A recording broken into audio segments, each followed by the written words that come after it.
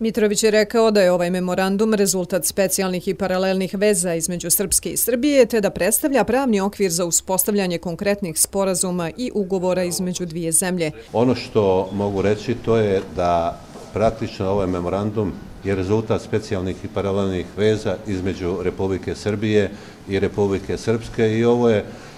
na neki način eh, preduslov za svu dalju saradnju u oblasti privede. Ovaj memorandum ni u jednom slučaju ne obavezuje ni Srbiju, ni Republiku Srpsku, ali joj stvara pravni okvir kako bi se mogli uspostavljati konkretni sporazumi i ugovori između dvije države. On je napomenuo da je ove godine započeto nekoliko konkretnih projekata, te da je potrebno uložiti napore da se oni realizuju do kraja. Mi imamo i neke konkretne stvari koje smo započeli toko ove godine,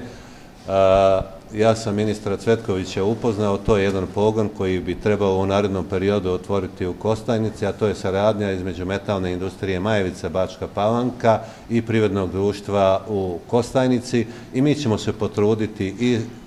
Republike Srpske, ali isto tako i Srbije, da ovaj pogon bude rezultat i praktično početak jedne konkretne saradnje u samoj privodi između